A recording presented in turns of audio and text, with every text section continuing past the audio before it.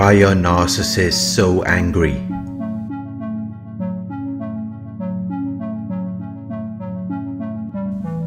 Narcissists are full of anger. They constantly feel a strong feeling of annoyance, displeasure, or hostility.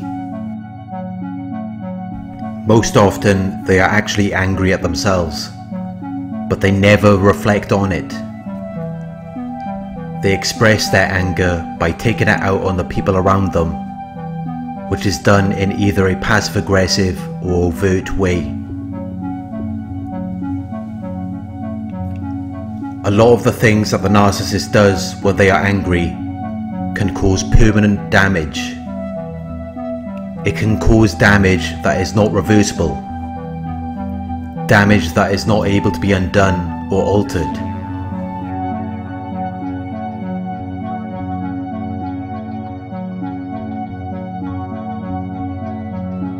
The narcissist is easily offended or upset. They are very weak, fragile people. They struggle with regulating their emotions. They struggle with maintaining their self-worth, self-esteem and self-importance. So if anything occurs where they might feel threatened, they will overreact they will respond more emotionally or forcibly than is justified. They have very poor emotional intelligence. They lack the ability to understand, use and manage their own emotions in positive ways to relieve stress, communicate effectively, empathize with other people, overcome challenges and diffuse conflict. They lack the emotional intelligence that is required to do these things. And this is what creates so many problems around them. When they are full of anger or rage, they are not thinking clearly. They are just reacting to the situation. They are saying and doing things based on how they are feeling at the time which may not have anything to do with the situation. It's just about how they feel inside. They give attention and consideration to these feelings, which then sends them into a rage. It causes them to experience violent, uncontrollable anger. And because they believe that their feelings are facts, they believe that you must have done something to them to cause them to feel that way.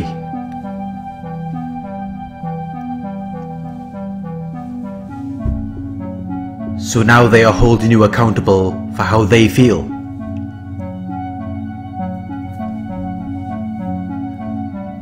Whenever they now want to take revenge on you. Now they want to inflict hurt or harm on you for a falsely perceived injury or wrong to themselves.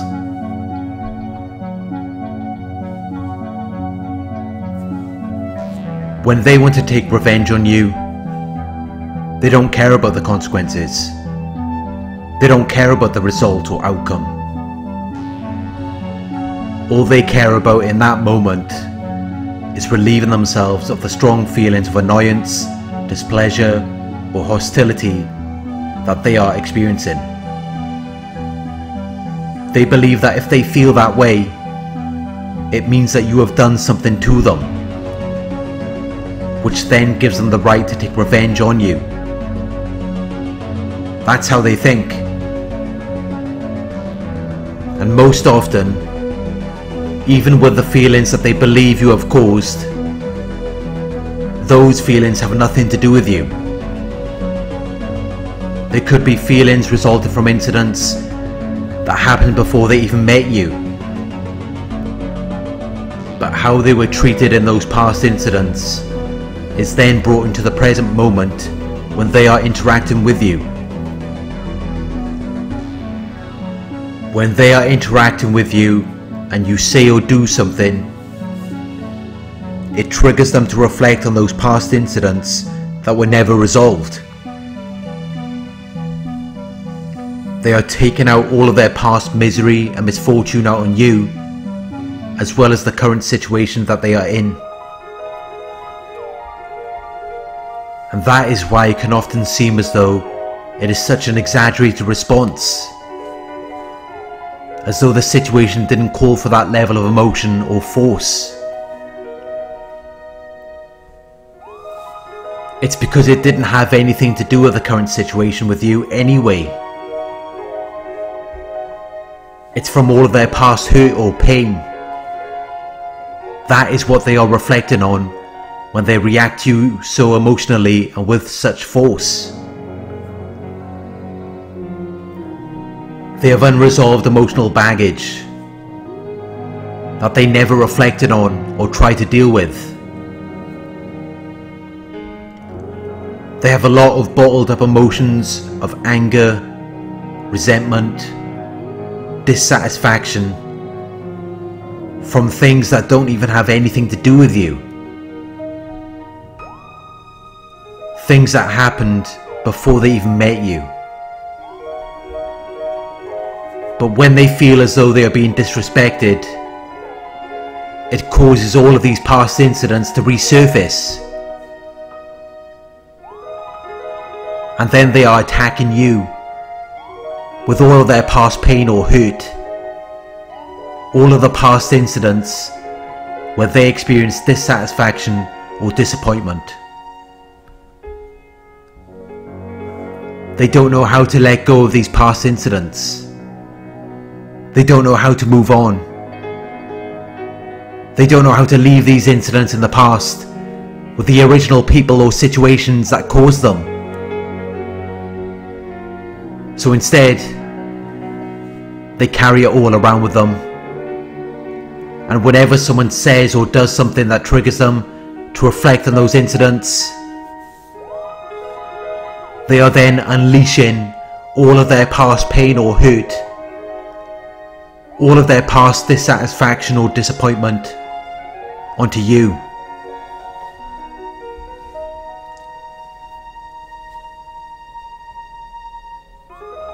This is why their reactions might seem exaggerated or more emotionally or forcibly than is justified, as though they are intending to do harm.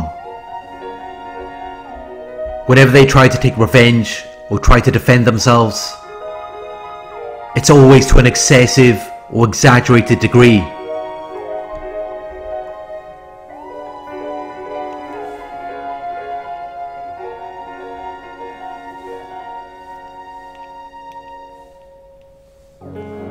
They have so much anger and hatred inside of them, where you may often feel as though you are walking on eggshells around them. Because any little thing could set them off. Any wrong thing you say or do could cause them to attack or take revenge on you. Because they never resolve their past experiences.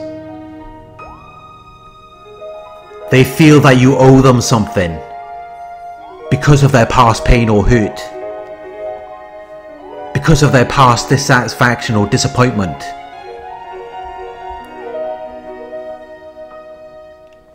They are using that as an excuse or as a justification to attack or take revenge on you.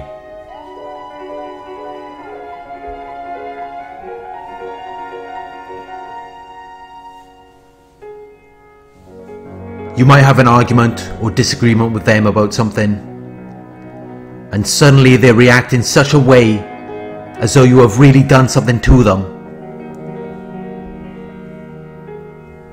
It might not have even been anything serious, or something that called for such an extreme response. But they are not just reacting to the argument or disagreement that you are having with them. They are reflecting on past situations where they felt a similar way before. A way in which they don't want to feel again.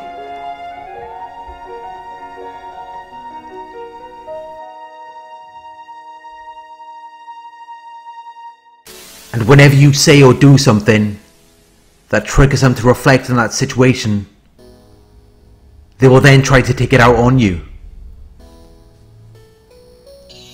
Even though it might not have had anything to do with you.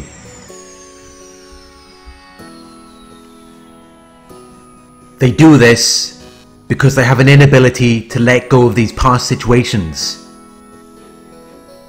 They have an inability to let go of their past hurt or pain, their past dissatisfaction or disappointment. That is why they have such strong feelings or opinions. Where they are willing to go out of their way just to express how they feel about something you've said or done. That is what locks them into experiencing the same state or condition again and again.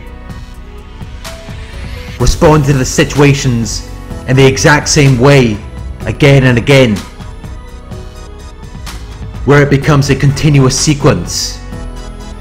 Where the same things happen over and over. They burn bridges they lose a lot of things that might have been good for them. They put themselves in undesirable situations where they may have been more comfortable before. These things happen because they have no control over their emotions. They have no control over their anger or rage. They don't even have control over their own mind. That is the root cause of why they do everything that they do. Their emotions are unchecked.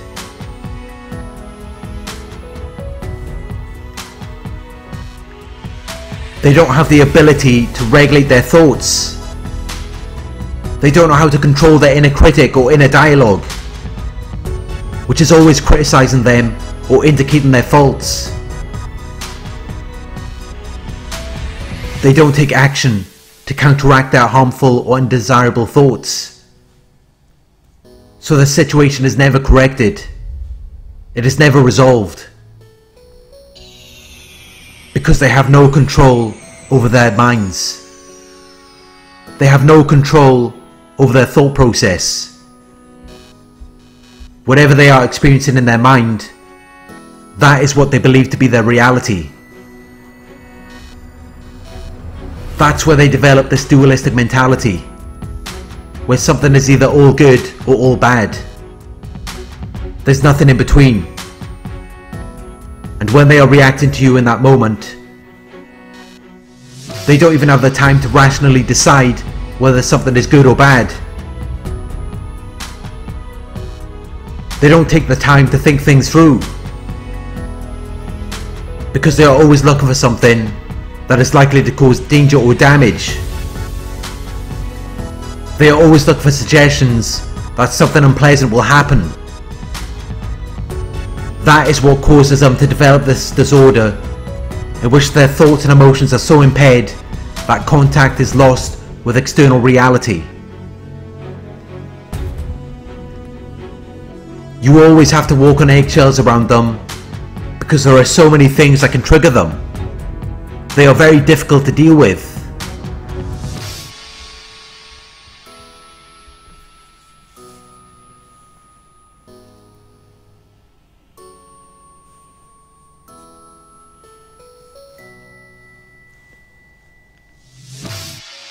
When the narcissist experiences anger or narcissistic rage, they can become very destructive to themselves and the people around them.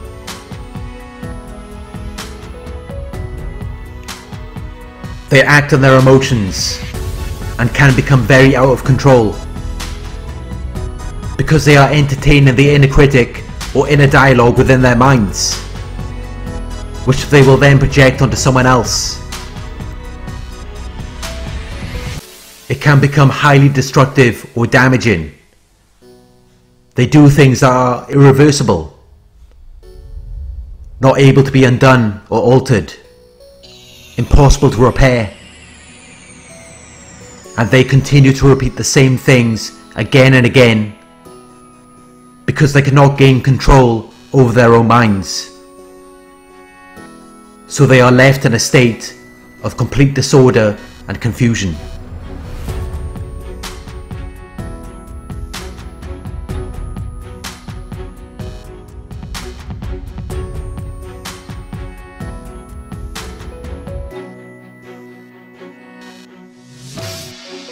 Thank you for watching. I hope this video resonated with you.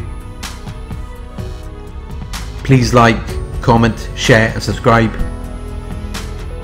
Click the bell icon to receive notifications for my future videos. If you would like to donate, my PayPal link is in the video description. Coaching inquiries you can email me at narcsurvivorcoaching at gmail.com. Thank you for watching and I'll talk to you soon.